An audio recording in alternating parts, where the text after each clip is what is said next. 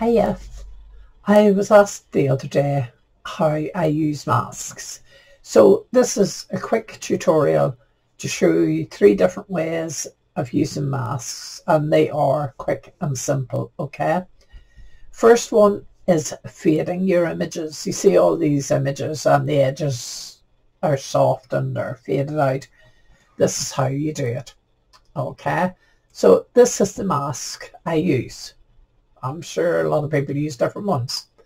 So have the mask opened, have your image open and go to layers, new mask layer from image. And you'll see a little drop down arrow here. Click on it and click the mask you're using. In this case it's 2020 and click OK. And you can see straight away the images have gone in. Now over here you go right click and merge group. Now more often than not I'll do this twice to be more effective. So again layers, new mask layer, from image, drop down menu 2020 and again. And I'm just going to merge the group again obviously there and I'm just going to merge and flatten this so hopefully you can see can you see how lovely that is? So that's the first one. Okay. Now we're going to go to the second wave. I'm going to close this one out because I don't need it. I'm going to open a new image. I hope.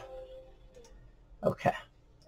And let's say we want a frame. So I'm going to flood fill this with um, any colour green will do you. It's not particularly my favourite colour but still. So we're going to go layers, new raster layer and we're going to flood fill it with the colour we want and we're going to do exactly the same thing. Layers, new mask layer from image and you're going to pick the frame which is a border mask and click OK and you now have your image as a border, as a frame. Again, same thing, layers, merge, group. Probably wasn't the best colour to pick, so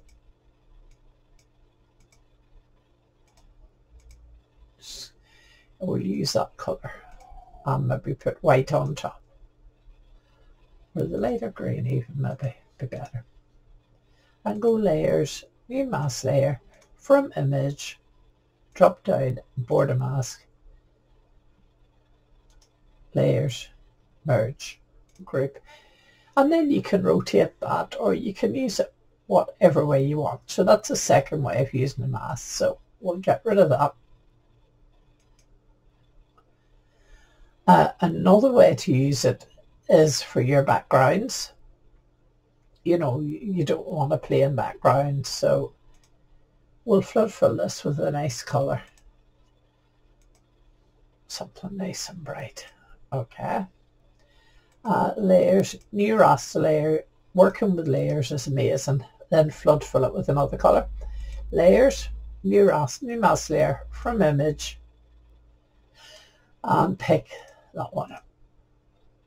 You can see how beautiful that is. And again, layers, merge, group.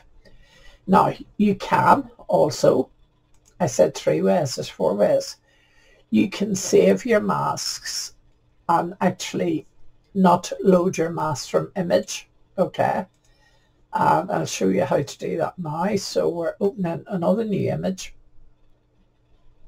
Okay, we're going to flood fill it. And this time we're going layers, come right down to load and save mask. Now these images need to be saved somewhere on your computer. Don't save them in PaintShop Pro folder because it'll get so heavy you'll get bogged down. I keep them on my desktop. I don't actually, lies, I keep them in a folder in my documents. So just for an instance, we'll have this one. So it says load mask from disk this program doesn't know where my masks are because I don't use them in 2018 very much. I use them in the PSP 9 more. So we'll use this one. We'll leave everything as it is and go load. Do you see what happens? Isn't that cool? So we'll try it another way. Layers, new raster layer. And flood fill it with colour. And then layers, load, save mask, load from disk.